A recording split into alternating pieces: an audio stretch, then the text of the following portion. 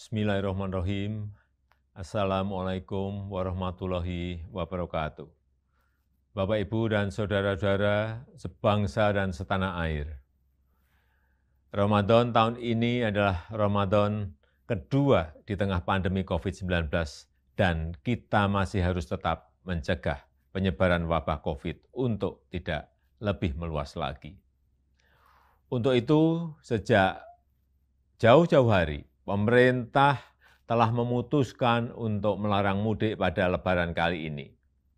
Dan keputusan ini diambil melalui berbagai macam pertimbangan. Karena pengalaman tahun lalu terjadi tren kenaikan kasus setelah empat kali libur panjang. Yang pertama, saat libur Idul Fitri tahun lalu, terjadi kenaikan kasus harian hingga 93 persen. Dan terjadi tingkat kematian mingguan hingga 66 persen.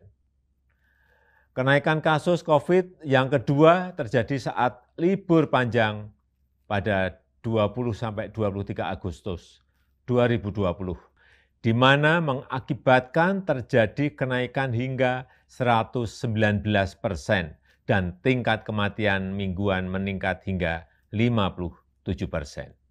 Yang ketiga terjadi saat libur panjang pada 28 Oktober hingga 1 November 2020 yang menyebabkan terjadinya kenaikan kasus COVID hingga 95 persen dan kenaikan tingkat kematian mingguan mencapai 75 persen. Dan terakhir yang keempat terjadi kenaikan saat libur di akhir tahun 24 Desember 2020 sampai dengan 3 Januari 2021 mengakibatkan kenaikan jumlah kasus harian mencapai 78 persen dan kenaikan tingkat kematian mingguan hingga 46 persen. Pertimbangan lainnya adalah kita harus menjaga tren menurunnya kasus aktif di Indonesia dalam dua bulan terakhir ini. Menurun dari 176.672 kasus pada 5 Februari 2021 dan pada 15 April 2021 menjadi 108.032 kasus. Penambahan kasus harian juga sudah relatif menurun. Kita pernah mengalami 14.000 hingga 15.000 kasus per hari pada bulan Januari 2021. Tapi kini berada di kisaran 4.000 sampai 6.000 kasus per hari. Tren kesembuhan pun terus mengalami peningkatan. Bila pada 1 Maret 2021 sebanyak 1.151.915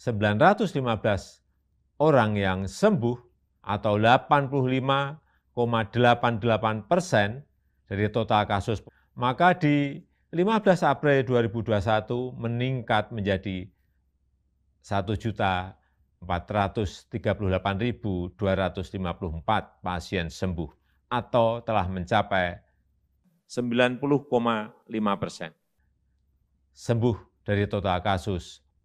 Oleh karena itu kita harus betul-betul menjaga bersama momentum yang sangat baik. Untuk itulah pada lebaran kali ini pemerintah memutuskan melarang mudik bagi ASN, TNI, Polri, pegawai BUMN, karyawan swasta, dan seluruh masyarakat. Bapak, Ibu, dan saudara-saudara yang saya hormati, saya mengerti kita semuanya pasti rindu sanak saudara di saat-saat seperti ini, apalagi di lebaran nanti, tapi mari kita utamakan keselamatan bersama dengan tidak mudik ke kampung halaman.